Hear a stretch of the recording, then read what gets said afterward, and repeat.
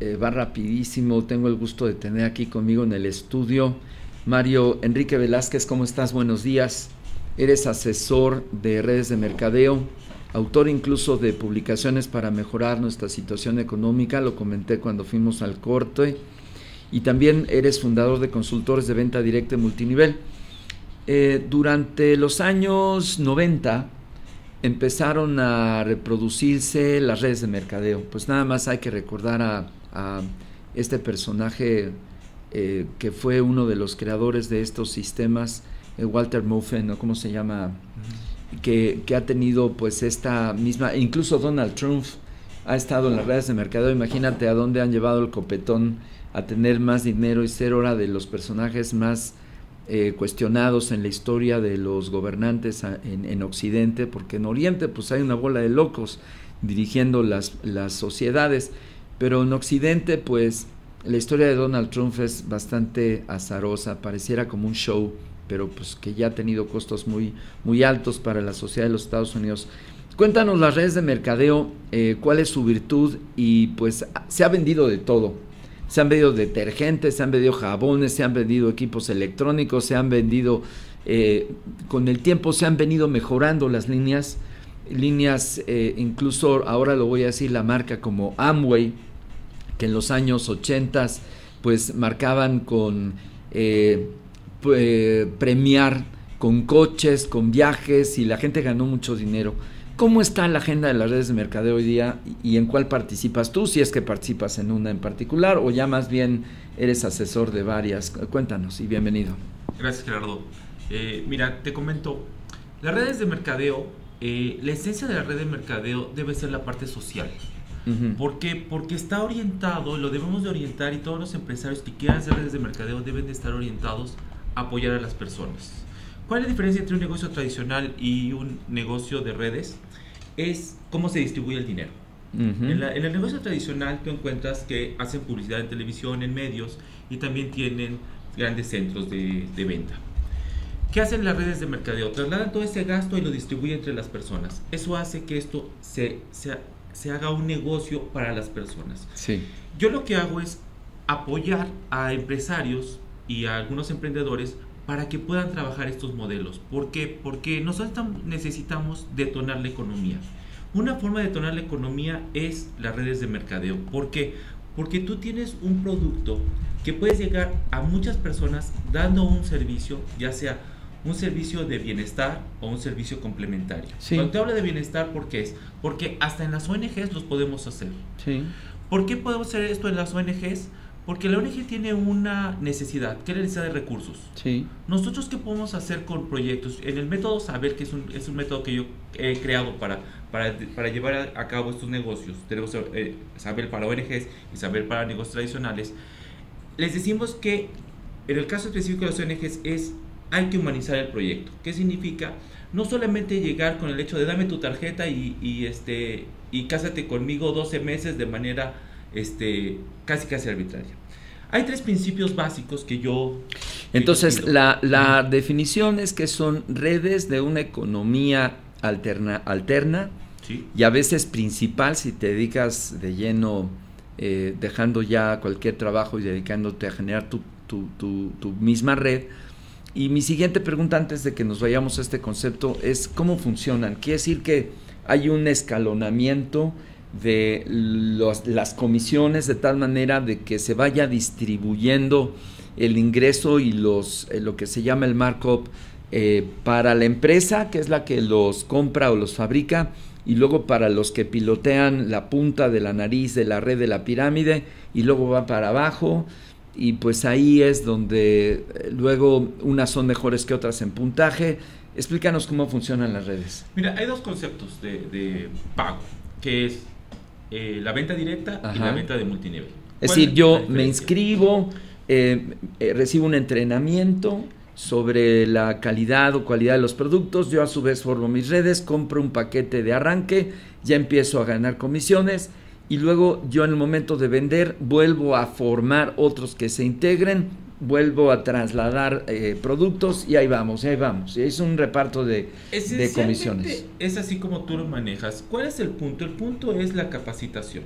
Okay. Estos negocios de capacitación, no son negocios de venta. ¿Por qué yo te digo que son de capacitación? Porque para que esto detone, tú tienes que educar a los que están a tu alrededor, a los que tú invitas. A las redes de consumo. Exactamente, los tienes que invitar en varias cosas. En que conozcan el producto, en que conozcan la forma de generar negocio y en que conozcan la forma de duplicarse. Sí. ¿Por qué? Replicarse más bien. Sí, replicarse, es decir, clonarse. ¿Por qué? Porque para que tú seas exitoso en una red, necesitas generar una comunidad. Exacto. Y son comunidades de consumo. De consumo. Ajá. Que podemos tener de autoconsumo o de reventa. Sí. Cuando te hablo de autoconsumo, por ejemplo, alguna vez trabajamos algún concepto en, leche, en el cual que se busca que tú consumas tu leche, invites a otras personas a consumir leche y tú ganes del consumo de las otras personas. Sí. ¿Por qué? Porque como te decía, cuando la empresa deja de tener publicidad, ese dinero lo reparte. Entonces, si tú le recomiendas a otra persona parte de lo que compra esa persona te llega a ti. Sí, uno de los gastos de las empresas más importantes es el mercadeo. Exacto. Y del mercadeo lo más importante pues es la difusión. Exacto. Pero si ya no gastan en difusión, ese dinero puede eh, invertirse en capacitar a las redes que distribuyen y que hacen posible el consumo. Y en pagarles. Y en pagarles. Y en pagarles. ¿Por qué? O sea, les pagan en capacitación y les pagan, también en efectivo. Cuando yo te hablo de la capacitación es ¿por qué? Porque la empresa que hace hace dos cosas. Crea un plan de beneficios para distribuir el dinero y crea un plan de capacitación. Ese no es no es, no es eh, digamos, con lo que les pagan. ¿Por qué tengo que educarlos? Porque el plan de capacitación me permite que cada uno pueda a su vez crear nuevas personas. Es imposible capacitar a 100 mil personas. Hay empresas que los tienen. No, cada uno se convierte en un inductor. Exacto. Y él eh, prepara a la siguiente red y ahí se va. y cada uno se convierte en una pequeña franquicia. y cada uno se convierte en su negocio propio. Bueno, esto llega a ser tan interesante, amigos, que después hasta los profesionistas, y esto no es raro, están encontrando pues mayor rentabilidad de su tiempo, porque ese es el chiste de costo-beneficio dedicados al multinivel, eh, con sus asegúnes, es decir, con aspectos favorables y otros que no lo son tanto. Pero eh, por lo pronto ya entendimos que las redes de multinivel son redes de capacitación, de mejora del ser humano, pero al mismo tiempo de ingreso. Porque estás ingresando pues una cantidad primero alterna y si te va bien y abres bien tu red, pues incluso puede ser la principal. Hay gente que gana, que gana su buen dinero. Es que se puede convertir en la principal porque es un negocio. Sí. Cuando yo te digo que es un negocio de capacitación, ¿por qué? Porque para que tú logres que las personas se desarrollen, hay que educarlas. Claro. Tú las vas a educar en tres conceptos: en producto, sí. en economía sí. y en desarrollo humano. Sí, claro, que son que se sienta la persona mejor, que esté mejor, que hable mejor y de esa manera pues todos ganan. ¿no? Sí, exacto. Mira, hay tres principios Ahora sí vamos a tu esquema. Sí, exactamente. Hay tres principios que yo le pido a todos los empresarios. El primero es no ser una carga emocional. ¿Por qué te hablo de carga emocional? Si nos vamos al esquema, por ejemplo, de, de las ONGs, cuando ya te dicen, dame tu tarjeta de crédito y 12 meses te voy a cargar dinero. Esto es una carga emocional. hay, que, hay que eliminarla. Hay que demostrarles que ese dinero que ellos están invirtiendo va a tener un beneficio y que no va a ser una carga, sino va a ser algo que, que puedas tú también autogenerar. ¿Por qué? Porque si las redes de mercadeo se pueden generar en, para las personas en sustentables. Porque si yo invito a más personas, se convierten en sustentables mis compras. Si yo en una ONG invito a más personas que entren y la ONG manda una pequeña parte de esa aportación a una aportación mía, mi aportación se convierte en sustentable. ¿Y qué significa eso? Que entonces yo me convierto en un promotor de la ONG y no solamente en alguien que dé una tarjeta. Eso es algo que se puede hacer con las ONGs y eso nos permite ayudar. En la parte de las empresas, ¿qué nos permite? El poder obtener los recursos, si es de autoconsumo, para tú estar consumiendo cosas que te gustan sin que te cuesten. ¿Por qué? Porque si con un buen manejo de la red, tú obtienes recursos para que se autopague y además obtienes recursos para mi segundo punto. Es un círculo virtuoso que de alguna manera eh, se ha venido sustentando, principalmente en la clase media en los Estados Unidos, en Europa eh, pues no tanto, debido a que ellos tienen más esta idea y que tienen mucha razón de ir a redes de consumo eh, reales, menos virtuales, pero en fin, cada quien y, sus, y sus modas de, de, participar en economías alternativas, que tú bien dices, a veces ya ni tan alternativas, serían principales. Ya se le llama incluso al que es eh, parte de una red eh, socio y empresario, no tanto empleado de la marca o de la firma. Eh, háblame en tu caso, ¿cuál es la red en la que tú participas? ¿Qué tipo de productos son los que distribuyen? Mira, yo como tal, yo no, yo no participo en ninguna red. O sea, más bien en el sistema. El objetivo de consultores y el objetivo de Manuel Velázquez es apoyar a los empresarios para que hagan negocios rentables y sociales. ¿Por qué sociales? Porque queremos que las personas ganen. Pero siempre vas a necesitar una red y entonces ¿qué les dices? ¿A quién recomiendas? Vamos a, vamos a ver esto. Ah, es decir, ¿a qué empresa de mercadeo? Entonces, para entender un poquito tu papel. yo les recomiendo. Vamos a imaginar que tú vendes micrófonos.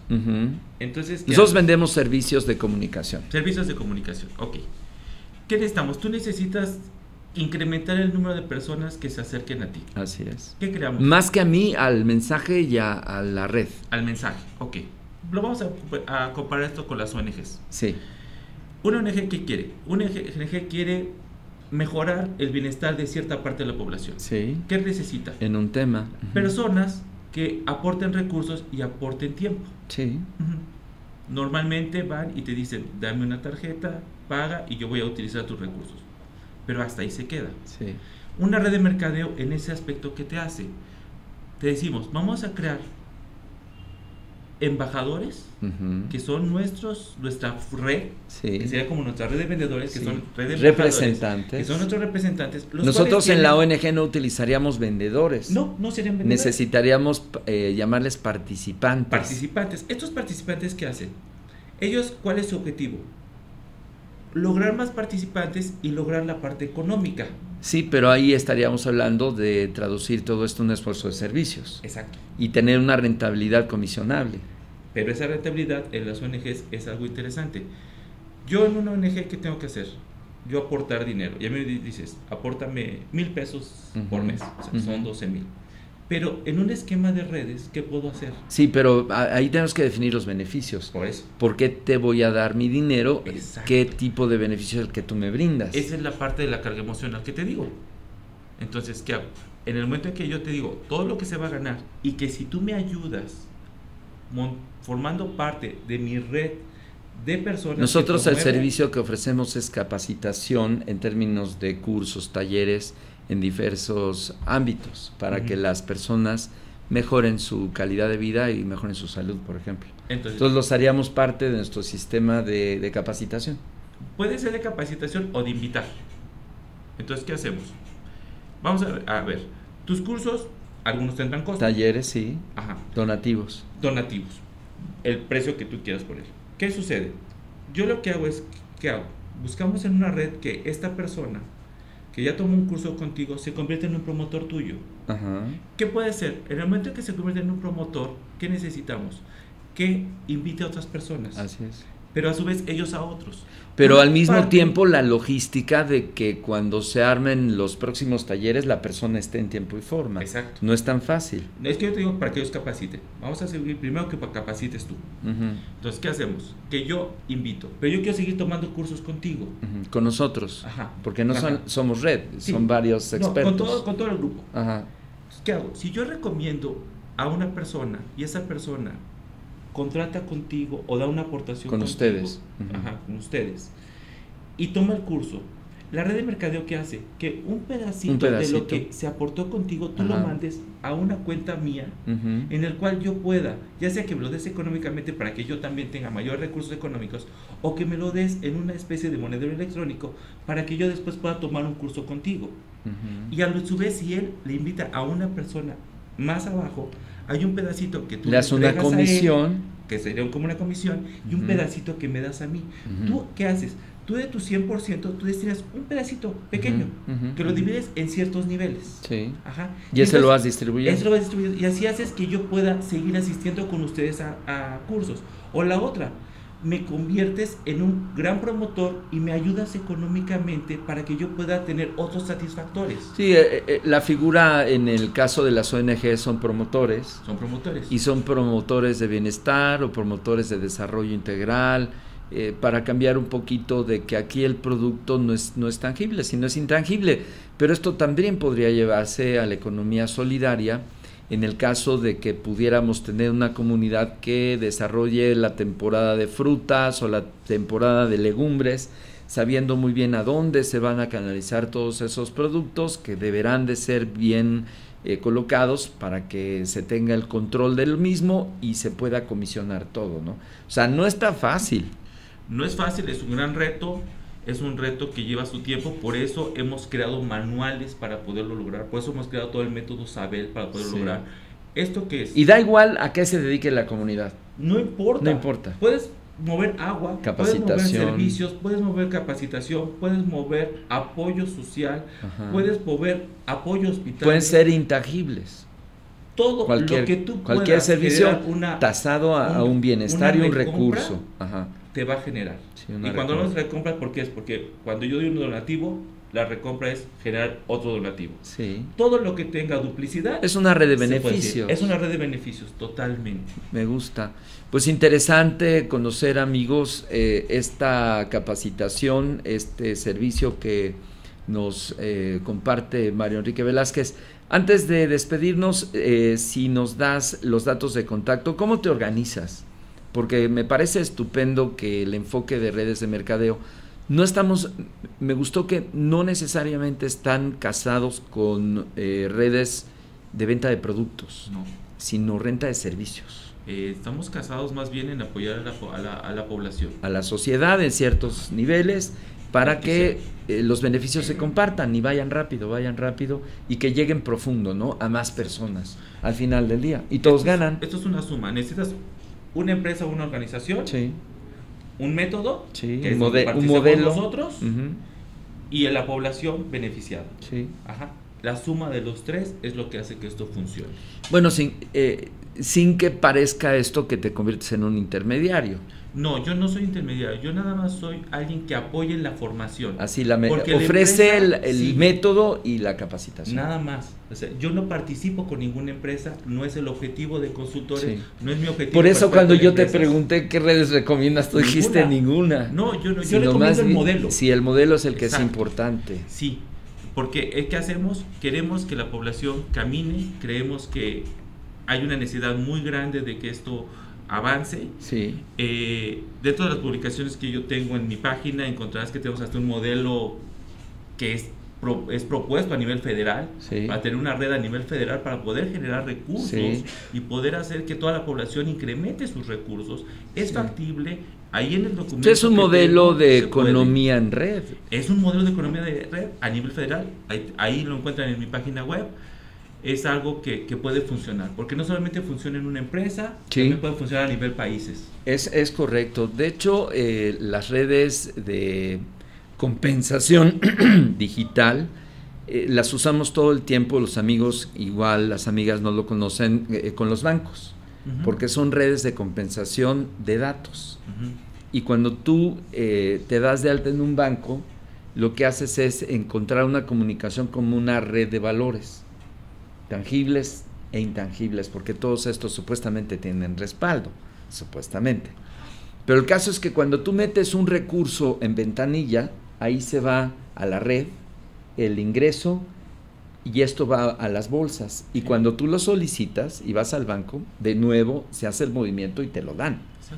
Es una red. Es una red. De datos. En este caso es igual, pero la red de datos ya no son solamente recursos financieros, sino son recursos de valores intangibles, servicios, y ahí puedes incluir lo que tú quieras. Lo que tú quieras. Si tú vendes micrófonos, lo puedes hacer. Si tú, vendes espacios, agua, lo puedes hacer. Espacios para difundir tus... Eh, espacios de difusión, apoyos. lo que tú puedas. Publicidad. Publicidad. Todo, todo lo puedes crear una, una red. Y yo como te comento, esto puede ser desde procesos que se puede hacer a nivel federal Sí. hasta a nivel individual. Sí, es decir, la red la puedes eh, hacer que ser como tú tengas la capacidad. si tú ¿cuán- haces gelatinas, ¿Cuántos capacitadores? ¿Qué eh, posibilidad de organización y qué posibilidad de organizar administrativamente muy bien tu información? Porque luego ahí se hacen bolas, ¿no? Es necesario un software. eso Sí.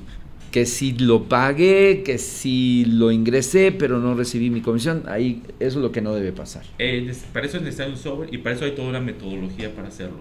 Mira, las redes de mercadeo no son negocios mágicos. Claro. Esto no es de que una persona se inscribe a una red y se va a hacer rico. Sí, claro. No. O que si un empresario quiere crear un catálogo y distribuirlo, se va a hacer rico. No. Aunque Wa-. Warren Buffett lo puede atestiguar que sí. Sí, pero no son mágicos. Tienes, tú No, tienes llevan que años. Educar, tú tienes que generar fans. Bueno, que es además el principio de las franquicias. Exacto. Es que cada persona es una franquicia. Claro, porque por ejemplo en, en cualquier cadena que ustedes y todos hemos de repente consumido, pues realmente ahí ese porcentual se distribuye muy grande y a veces llega a ser hasta un tercio del ingreso total de, de la cadena. Exacto. Un tercio que se reparte. Y le tiene que llegar hasta que te abre la puerta, el mesero, el, la balosa, si si hablamos de una cadena de Sí, restaurantes. exacto, a todos. Pero todo es una red de comisiones. Pero todo tiene exactamente los montos y las definiciones. Sí, no sí. es arbitrario. Sí, sí. Entonces, lo que Sí, porque tienes que pagar proveedores, tienes que pagar eh, impuestos. Es decir, tú lo que propones es entrarle esta fórmula, no es nueva, no es mágica, pero funciona. Y es el negocio que Bill Gates, el mismo Carlos Slim han dicho, Ah, son no, de este pues- siglo. Pues todos, Ajá. es decir, no hay un solo servicio que ofrece cualquier tipo del mismo que no esté ya bajo un esquema de sistema de mercadeo Exacto, en red. exacto. Pues ahí está, amigos. Eh, es interesante. Muchas gracias eh, por estar aquí, Mario. Eh, eh, fortalecemos esta idea de las redes. De hecho, es parte de una de nuestras labores, crear redes, eh, pero de cultura, redes de tradición, redes de, de información. Y bueno, pues ahí está el apunte.